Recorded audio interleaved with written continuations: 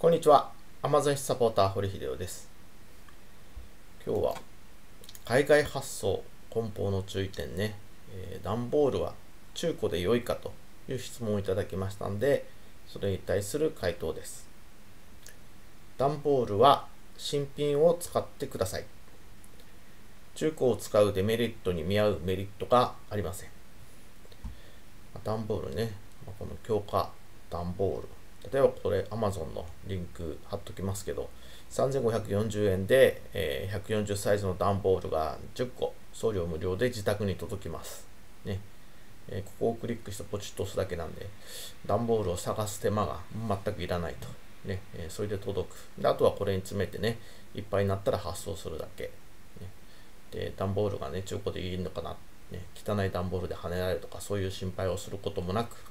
強度不足という心配もなく、もうこれでただ詰めておくれば届きます。他にもね、例えば郵便局の段ボール。まあ、これね、えー、週間時に段ボールを頼めば、えー、段ボール持ってきてくれます。ね、自宅にいながら段ボールが手間に手に入ると。ねえー、それから、まあ、楽天なんかにも売ってます。で、一方、ね、えー、この送料。5キロをアジアに送ったとしても6300円。ね。で、オーストラリアに送った場合は8700円。ただ、オーストラリアはね、EMS 今使えないんで、これより高くなります。えー、民間のフェデックスなり DHL を使うと、これより高くなると。まあ、どんな安くても6300円の送料かかる。ね。プラス商品代。これね、えー、段ボールが中古で、えー、例えば跳ねられちゃった場合、あるいはね、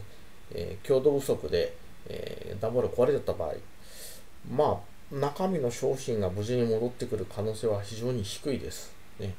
えー、わざわざね、段ボール壊れちゃって破れちゃったもの、ご丁寧に代わりの段ボール見つけて詰め替えて送り返してくれるという、えー、サービスを期待するのは、ちょっと海外に期待するのは無理なんでね、ああ、段ボール壊れちゃったね、これ。ね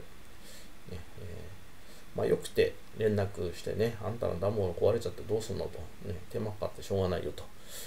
え詰め替えて送るならいくらいくら払えと。まあ、来るならまだまし。まあ、多分そのままね、えー、破棄されて何もなかったことになっちゃうという可能性が高いです。だ中古段ボールで発送するメリット。200円から400円ほどの経費が節減できると。まあ、手間かかんないっていうのはありますね。例えばね、送られてきた段ボールそのまま取っておいて使えば手間かかんないって言ってもありますけど、まあ、いずれにしてもね、新しい段ボール用意して発送するのに比べると、えー、見合ったメリットはない。まあ、デメリットはその送料が無駄になる。あるいは商品代金が無駄になる。えー、中古の段ボールをね、ましてどっかに行って中古段ボールくださいとか、えー、コンビニなりスーパーなりってやってたらその手間もかかりますからね。まあ、中古段ボールを使って経費を節約しましょうという考えもあるんかもしれないですけど、まあ、私としてはね、えー、1個あたり200円か400円の経費節約にしかならないわけですから、いや、探し行く時間に商品探せばいいんじゃないのかなという気がします。まあ、そんな形でね、中古段ボールで送るのはあれでしょうかという質問が来ましたけども、発送用にね、中古段ボールじゃなくて、もう新品段ボールを用意しとくと。ね、で中古段ボールは使わないというふうに決めちゃった方がね、えー、すっきりしてていいですし、まあ、その方をお勧めします。まいろいろ考えてもね、まあ、中古段ボールでこの段ボール代を節約するメリットは、やっぱりね、デメリットに比べるとあまりにも、えー、少なすぎる、メリットが少なすぎる。つまり、中古段ボールを使う意味はないということでね、えー、段ボールは新品を利用してください。アマゾンサポーター、堀秀夫でした。